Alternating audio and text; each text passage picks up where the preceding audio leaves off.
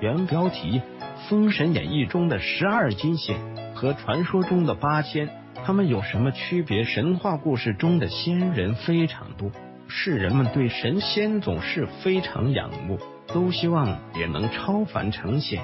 当然，这只是一个无法实现的美好愿望而已。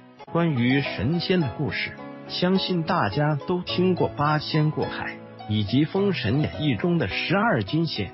八仙分别是铁拐李李铁拐、汉钟离钟离汉、张国老、何仙姑、蓝采和、吕洞宾、韩湘子、曹国舅。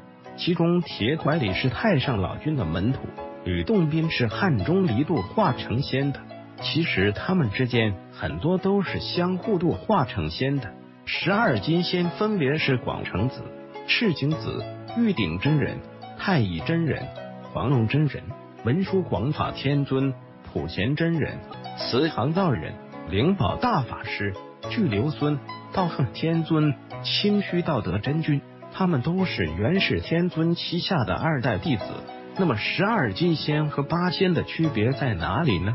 主要体现在以下四个方面：一、从等级和实力上看，十二金仙都明显高于八仙；二、十二金仙是拥有逍遥仙体的，不受天庭管辖的仙，而八仙是肉身成神，他们只是神仙而已，就跟姜子牙封的三百六十五位正神一样，都是在天庭上班，要受天条约束。三。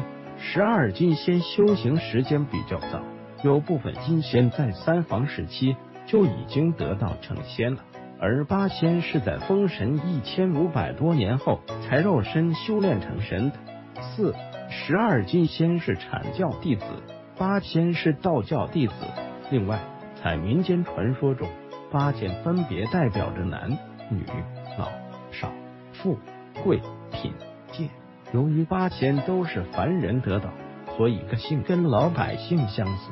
中国许多地方都有八仙宫，迎神再贵也都少不了八仙。俗称八仙所持的檀板、扇子、洞箫、玉鼓、宝剑、葫芦、荷花、花篮等八物为八宝，代表着八仙之品。话说吕洞宾并不是八仙之首，为什么他的知名度比其他七仙要高呢？欢迎留言分享，返回搜狐查看更多责任编辑。